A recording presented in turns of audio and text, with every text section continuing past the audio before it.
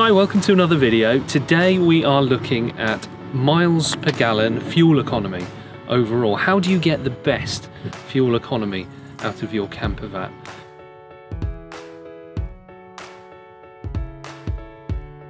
And I'm joined today by uh, Ian Macafee, who is from the Institute of Advanced Motorists Stratford Group, and he's uh, going to give us a few tips today on how we can drive this vehicle in the most economic way possible and also the most safe way possible and so that we're getting the most out of our fuel and therefore saving money. Good news for everybody. So the object of the experiment that we're trying today is to, to assess the impact of your driving on miles per gallon, your fuel economy and even your safety.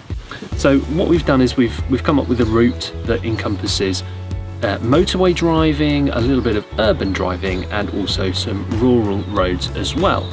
We thought it'd be worth experimenting and seeing what two types of the two different types of driving that we're going to do. Extremely careful with MPG and not paying any attention to MPG, and then what that what effect that has based on the different road types we're using on the eventual result.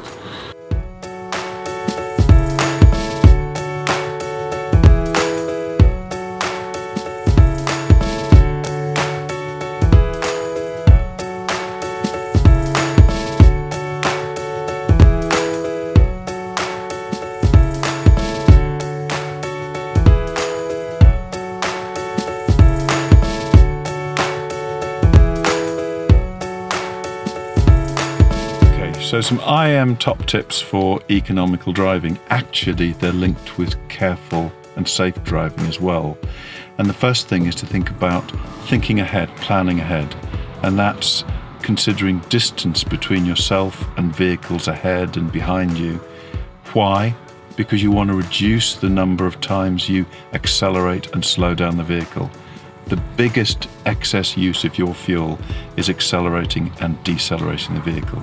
So for example, if you slow a vehicle as big as this down from 70 miles an hour to rest uh, in five seconds, you are transferring about 150 to 200 kilowatts of heat through the front wheels. You'll boil enough water for 12 cups of coffee. That is a lot of energy. So if you can reduce the number of times you do that, you save money and that means thinking ahead. Think ahead to junctions, distances between yourself and vehicles ahead and behind you. There are other things as well. Aircon is worth more or less 10% of your fuel bill. So if you don't need it, turn it off. If you can avoid using it on occasions in hot and use the fan instead, use that. If it gets a bit hot and you need aircon or something, above about 50 miles an hour, don't open the windows, that ruins fuel economy. Actually use a little bit of aircon to remain cool enough. Um, keep your vehicle serviced. That's probably worth, in the limit, about 10% of fuel burn. Dirty oil, clogged filters, um, poorly maintained tyres can be worth a tenth of your fuel bill. And on top of all this lot, if you look after your car or van and drive properly and drive safely, you're also going to reduce other bills tyres, wear and tear on the vehicle. Eh, you can keep a valuable asset in good condition for longer and you can enjoy driving it better as well.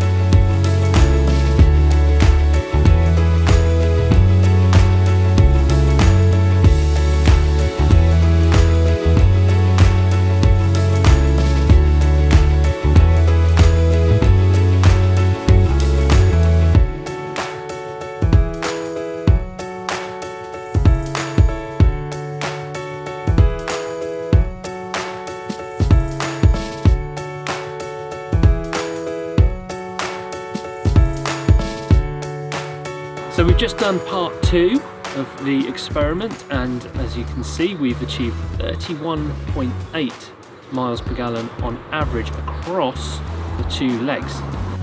At the end of the first part of this trip we had achieved about just over 35 miles to the gallon and now the average has come down to just under 32 so you can see the difference that that has had on our total economy total fuel economy. So the driving when you're not really paying attention to your braking, your distances, your uh, acceleration, has had a marked impact on the amount of fuel that we're using. We've done this this trip in exactly the same vehicle, uh, in almost exactly the same conditions and exactly the same route.